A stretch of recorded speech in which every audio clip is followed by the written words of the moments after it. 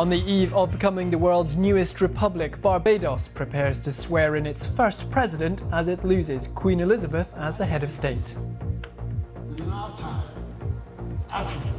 And I'm in National Heroes Square in Bridgetown. Well, the party is well underway as we head towards the presidential inauguration.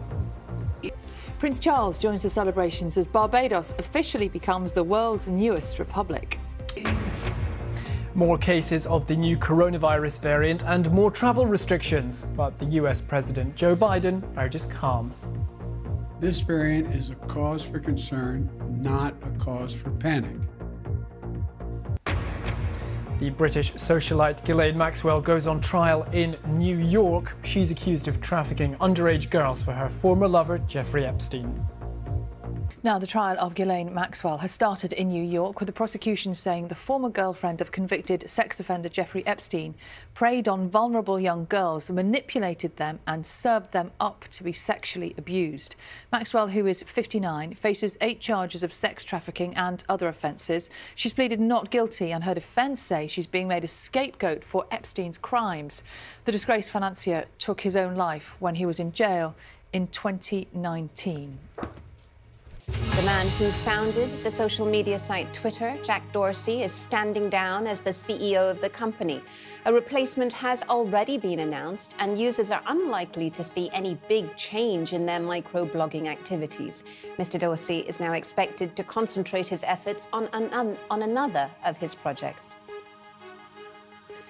Documents seen by the BBC detail how Henan, China's third most populous province, is creating a facial recognition system that will flag up what are termed as people of concern.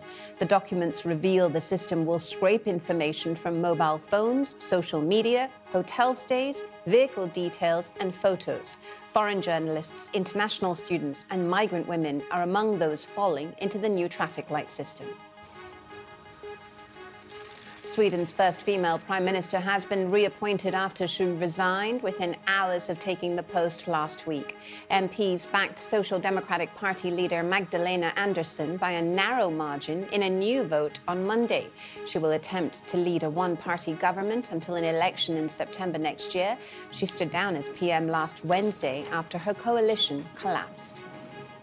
And the Pentagon says it will reinforce US military deployments and bases that are directed at China and Russia, following a review commissioned at the start of the Biden administration. It will focus on military facilities in Guam and Australia. An official said curbing military aggression from China was a priority. Good morning in sport. Messi dazzles in Paris after being voted the best player in the world for a record seventh time, collecting the prestigious men's Ballon d'Or award.